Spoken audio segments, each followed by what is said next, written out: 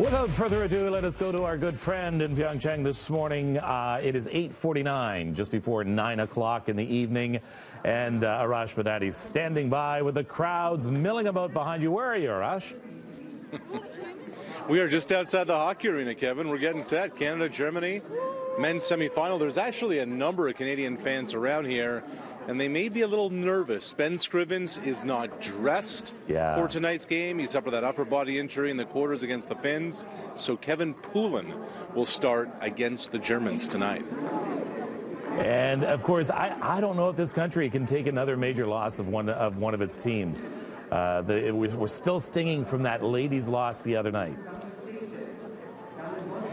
Yeah, and, and so are they, to be quite frank with you. I, I, didn't I don't think any of them saw it coming. Matter of fact, it was Meghan Agosta who told me I am 100% in shock. I mean, Canada had won every gold medal game against the U.S. since 2002. They had beaten the Americans in the round robin game.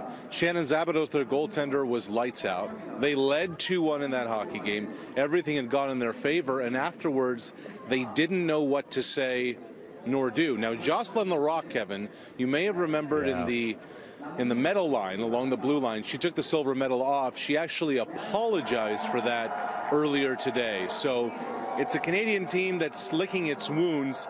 Maybe soon they'll appreciate the fact that they won a silver medal, but not yet. What's going on behind you, Raj? What, what's going on with all that cheering? I, I lost you there for a sec, Kevin. Do you still have me now? I got you now. Okay, good. I was just wondering what all that cheering was going on behind you. Well, we actually have the. It's funny you mentioned the women's hockey game. The enemy is behind us, Kevin. We got the, the Today ladies? Show from NBC, and they have the American women's hockey team up there on stage.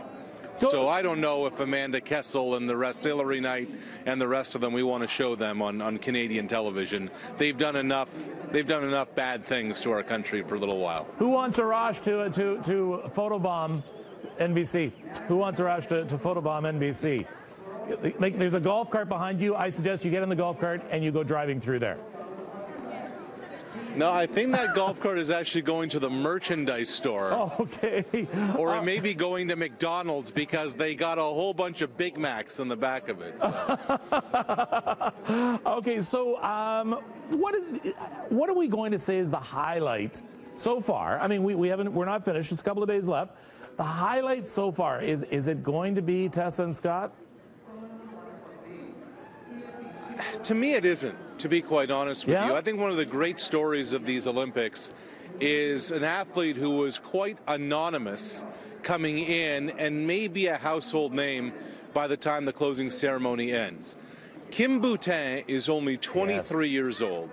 She's a short track speed skater. She's won three medals at these games. She became the first Canadian woman to win a 1500 meter short track medal, and no short track athlete has won three. No short track women athlete.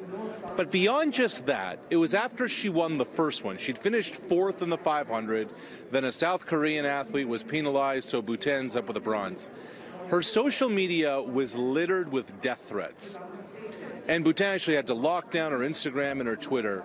And she went quiet for a couple of days. And she ran into that South Korean athlete in the cafeteria a couple of days later. And she went and gave her a hug. And, at, and Kim asked her, are you okay? Are you doing fine? And they had that moment. They said, listen, we can't allow any of this to affect who we are, what we do, and what these Olympics are all about. Let's be above this. And wow. then Boutin went out and won two more medals. so when you think about what the Olympics are about, what they're supposed to be with unity and harmony and competition, Kim Boutin embodied a lot of that.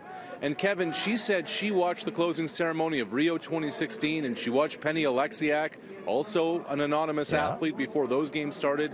She watched Penny carry the flag and Kim said, wow, isn't that amazing what she's accomplished? Well, she carried less than two short years later. Here's Boutin, who may very well be Canada's flag bearer that's, on Sunday. That's what I was just saying. Comes to an end. There's a good chance she'll carry that flag. All right, thank yeah. you very much. Arash Madani talking to us from Pyeongchang. Go in there, get into the arena, and cheer loud for Team Canada. That game gets underway soon.